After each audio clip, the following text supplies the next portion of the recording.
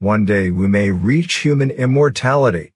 One day we may create our mind copy and upload it on cloud or transfer it to another humanoid or robot. First, we need to create whole brain map and then make digital copy of it.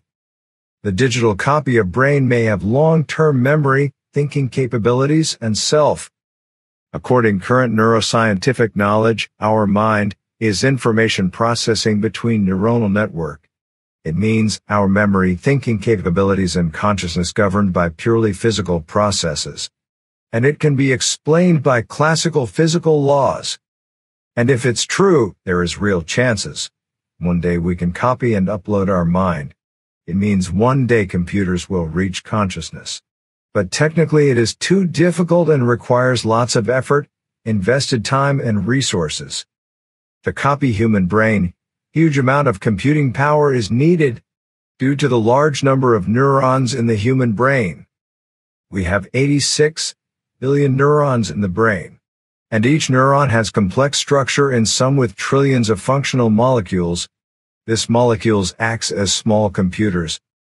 It means too difficult to scan, map and copy such complex, functional structure. A full brain map has been estimated to occupy less than 20,000 terabytes. One method of mind uploading is serial sectioning, which means brain is frozen and then scanned and analyzed layer by layer, then make copy according to scanned information. Main problem here is, it is unknown if it is possible to replicate neuron function from its visible structure alone. Because function of brain tissue is partially determined by molecular events, Solution to this problem is to use sophisticated immunohistochemistry staining methods, then could be read via confocal laser scanning microscopy. It means to paint each biochemical event to make it visible for scanning. But we don't know physiological genesis of mind, so we don't know also if this method will be able to access all biochemical information in the brain, to scan and then recreate it. According to some neuroscientists, mind uploading is too complex, and it may be too difficult to capture whole brain with its all activity. To accomplish these tasks maybe we are hundreds of years away.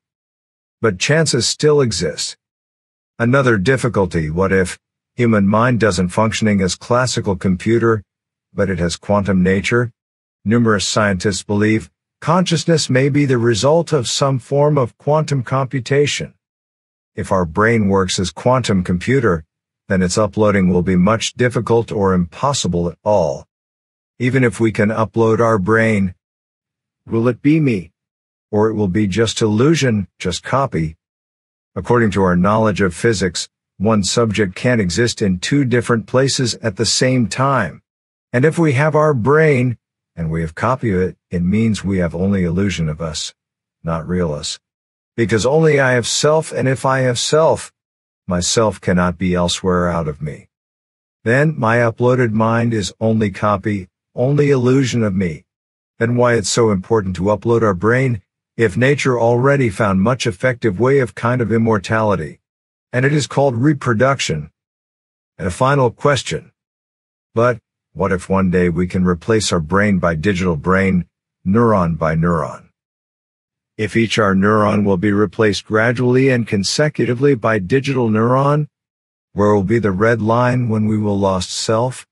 And we will become copy of ourselves? Which single neuron is defining us as self? And if replace our every neuron with digital neurons without losing self then, we can say that we reach true immortality.